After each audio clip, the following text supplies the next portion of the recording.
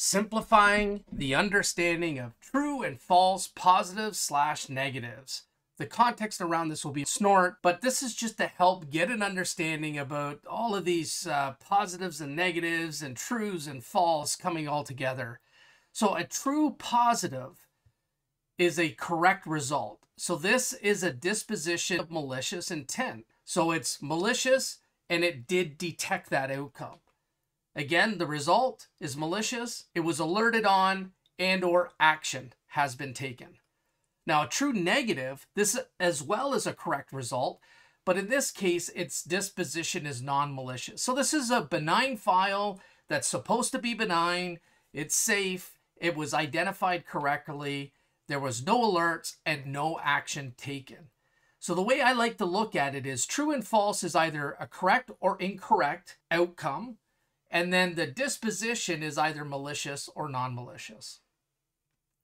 Now, false positives. This is an incorrect result. The disposition is in fact non-malicious. So it's identified something as malicious and an alert and an action was taken. This is not the intended purpose. This may cause disruption in the organization because it's falsely blocking or alerting on things that it shouldn't be. Now, false negatives, these are bad. This is an incorrect result. The disposition is malicious, but it wasn't detected. The actual result, although malicious, there was no alert or action taken, so we didn't even know it took place. So let's put this in a little bit of context here. And when we look at true positives from the lens of snort, true positives occur when snort correctly identifies an intrusion event. Now, the snort engine has identified the activity as malicious or unauthorized and has flagged an alert and applied a rule action. And the rule actions are over on the left side there that talks about you can disable, alert, block, you can rewrite, you can drop and reject.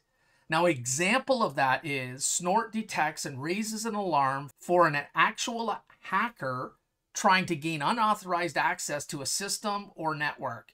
This results in a true positive disposition due to snort correctly identifying the intrusion. Now, false positives. So false positives occur when snort incorrectly identifies an intrusion attempt when the traffic itself is not malicious or unauthorized.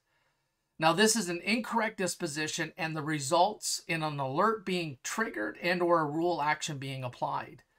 Now, an example of this would be Snort triggers an alarm for a legitimate user's login attempt because it incorrectly identified the attempt as an intrusion. This is considered a false positive. The user is authorized to access the system and is not accessing the system for nefarious reasons. So an incorrect result here. Now, a true negative, a true negatives occur when Snort correctly classifies a normal authorized activity as benign. So Snort correctly filters out legitimate traffic and does not flag an alert or take action against that traffic. Now, an example of that is Snort correctly identifies that a user accessing a file or a website is in fact authorized to do so, and Snort does not create any alert or take any action against said traffic. Now, in this case, the user's activity is legitimate and Snort recognizes it as such. So this is an expected outcome with normal traffic day in and day out. False negatives, well, they happen when Snort fails to identify an intrusion attempt or does not trigger an alert or take a rule action. Now, Snort incorrectly identifies a malicious or unauthorized activity with a disposition of benign.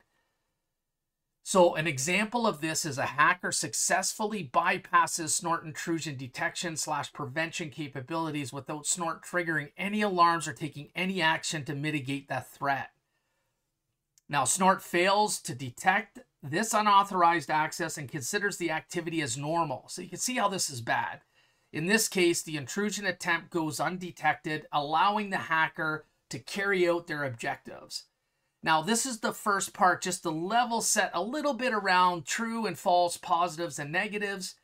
I'm going to get into some things that we can do in the next video around how do we accommodate some of these false positives and false negatives. What should we do?